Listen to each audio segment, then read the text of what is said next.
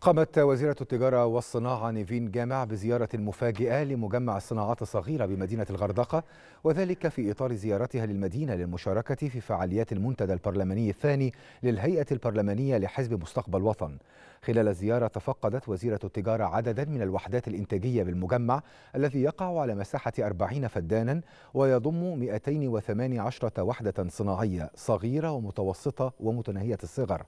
يشمل قطاعات صناعية غذائية وهندسية وكيماوية ومواد بناء.